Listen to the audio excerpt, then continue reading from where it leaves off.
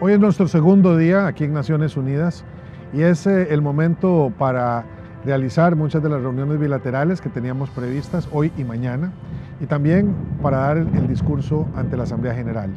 Este año he privilegiado tres temas.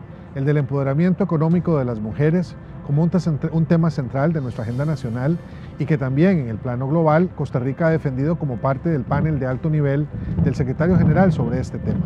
Allí copresidí ese panel y me pareció esencial hablar de por qué es tan importante que las mujeres tengan iguales derechos que los hombres en las actividades económicas y productivas. Si bien es cierto, muchas de las mujeres trabajan, son empresarias, laboran en el sector público o privado, científicas, artistas, millones lo hacen en el sector informal.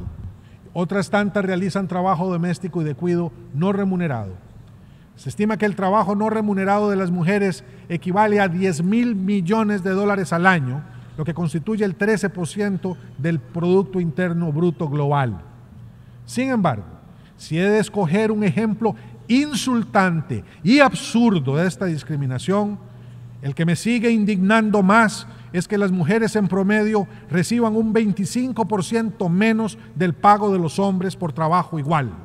Un segundo tema fue el tema de la desnuclearización. Este es un aspecto central de nuestra nacionalidad, la lucha contra la guerra, la promoción de la paz y garantizar que el mundo y nuestra especie no sean destruidas por las armas nucleares, que es una locura que podría llevar al exterminio masivo de la humanidad. Este tratado es un mensaje rotundo de que la mayor parte de la membresía de Naciones Unidas no apoya no acepta y no considera a las armas nucleares como legítimas y que la comunidad internacional deja claramente establecido que las armas nucleares no solo son inmorales y éticamente rebatibles, sino que a partir de ahora también serán ilegales. También hablamos sobre el cambio climático, que es un tema central en la agenda internacional y donde Costa Rica ha insistido y continuará insistiendo en nuestra obligación de cumplir con los compromisos de París, y del Acuerdo de Marrakech. Los países, señor presidente, señoras y señores delegados, debemos adoptar posturas cada vez más ambiciosas en materia de conservación ambiental y lucha contra el cambio climático y entenderlas como el derecho ineludible de todo ser humano y de las futuras generaciones de vivir en un ambiente sano y ecológicamente equilibrado. Cuenten, señor secretario y delegadas y delegados, con el apoyo incondicional e irrestricto del pueblo y del gobierno costarricenses en el impulso de esta agenda vital.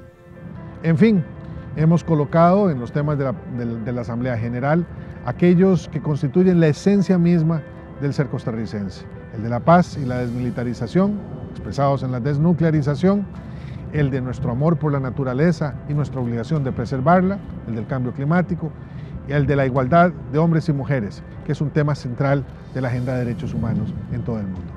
Que esté muy bien.